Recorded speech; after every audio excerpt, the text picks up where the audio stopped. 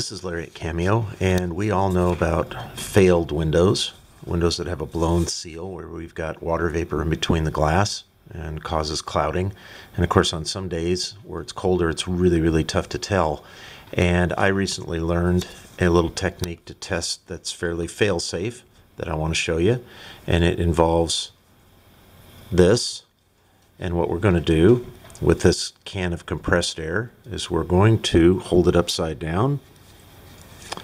If I can do this with one hand, and we're going to spray the window. And then we're going to wipe this off. And what will happen if that window has failed is that that cold propellant is going to freeze the water vapor on the inside of the glass.